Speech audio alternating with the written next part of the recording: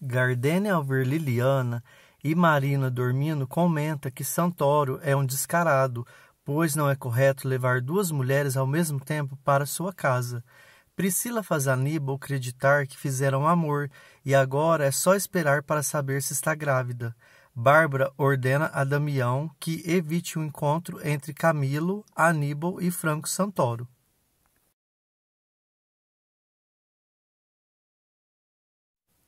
Fernanda desconfia que Eduardo estava com a medalha quando deixou o povoado e que isso aumenta sua suspeita de que ele está por perto, espiando a fazenda.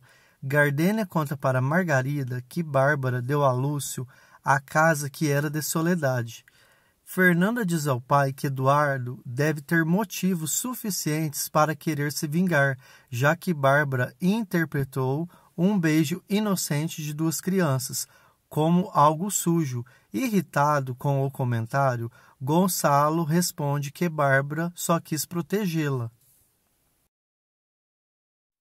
Fernanda diz a Bárbara que vai visitar Liliana e deixa a madrasta perplexa ao comentar que Eduardo já foi vê-la várias vezes. Jacinto leva Marina e Liliana para a casa de Margarida e lá encontram Eduardo. Eduardo conta que a explosão na clínica foi provocada por Ciro para que ela pudesse fugir.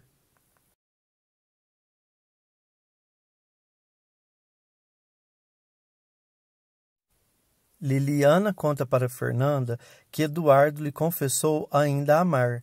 Eduardo revela a Marina sua verdadeira identidade. Diz que adotou a identidade de Franco Santoro para fazer justiça e pede a ela que guarde seu segredo. Fernanda está convencida de que ele está no povoado.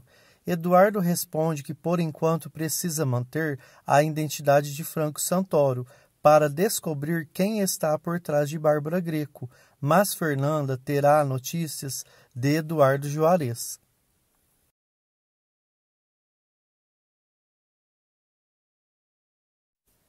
Fernanda chega na paróquia para se encontrar com Eduardo.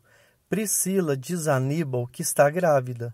Padre Bosco leva Fernanda até a cripta e diz que a última vontade de Eduardo foi que seus restos mortais descansassem junto de sua mãe. Ao receber a notícia da morte de Eduardo, Fernanda desmaia.